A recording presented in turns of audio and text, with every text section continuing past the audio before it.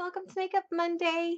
I wanted to do a get ready with me video today of just kind of an everyday um, makeup look, makeup and hair look. Um, so this is obviously me after my hair and makeup has been done, um, but I was going to actually straighten my hair today, but I decided I would leave it down and natural. Um, this is actually just air drying, and no no straighteners, no heating tools. Um, I did use one hair product, and you'll see that in the video a little bit later as it progresses. And um, so yeah, I was going to straighten it, but I decided I would leave it down for you guys so you guys can kind of see what I do most often on an everyday kind of basis if I'm just going to be running a couple errands, not really wanting to get so dolled up, but still wanting to look nice and presentable. Um, so I really hope you guys enjoy this video. If you do, uh, as always, go ahead and like, comment, and subscribe, and I will see you guys in my next video.